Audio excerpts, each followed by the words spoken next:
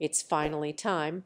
A secret letter from the late Queen Elizabeth Roman II has surfaced demanding the expulsion of Prince Harry and Meghan Markle, dubbed the traitor Sussexes. This revelation has sent shockwaves through royal circles and ignited a media frenzy, leaving fans and critics alike buzzing with speculation. What does this letter reveal about the monarchy's inner workings, and could it change the course of royal history forever? To understand the gravity of this revelation, we must first revisit the turbulent history of the Sussexes within the royal family. Harry and Meghan's decision to step back from royal duties in early 2020 sent ripples through the monarchy.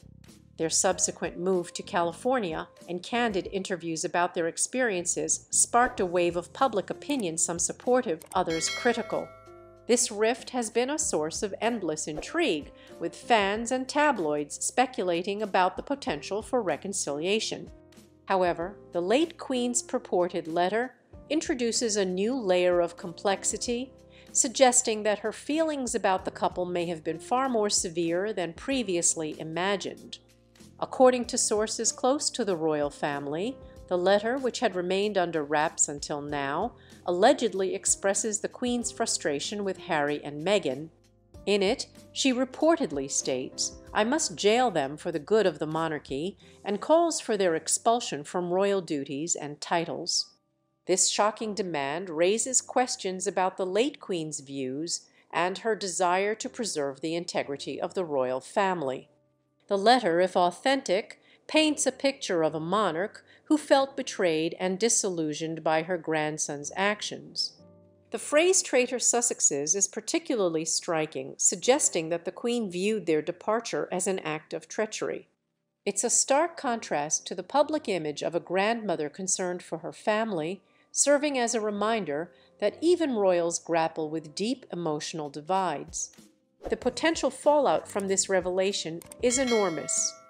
If the letter is confirmed to be genuine, it could solidify the divide between the Sussexes and the royal family, making any hope of reconciliation seem even more distant. Royal experts speculate that this could further entrench Harry and Meghan's decision to distance themselves from royal affairs, reinforcing their narrative of being misunderstood and mistreated. For royal watchers, the implications are staggering.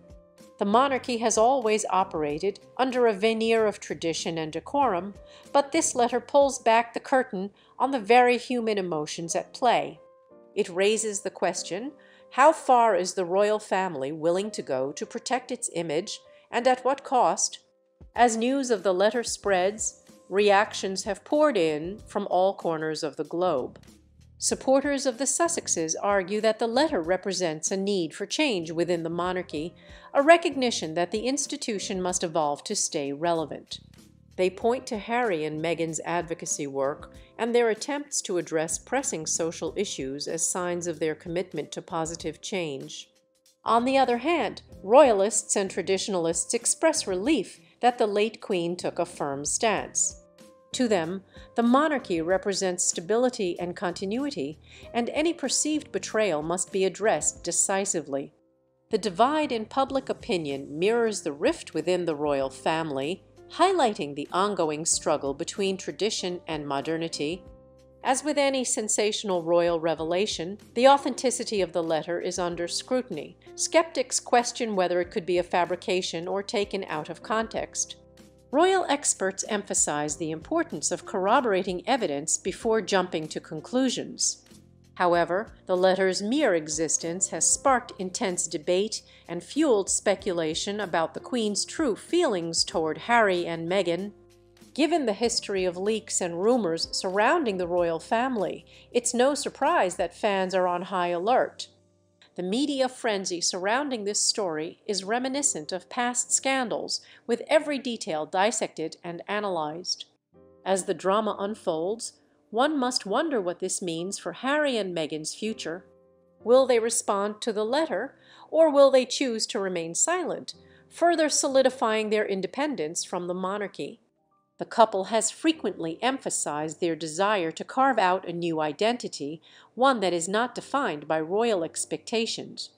If the letter is indeed genuine, it could serve as a rallying point for the Sussexes' supporters. They may use it to frame their narrative of being unfairly treated, thus strengthening their resolve to continue their philanthropic work and advocacy efforts.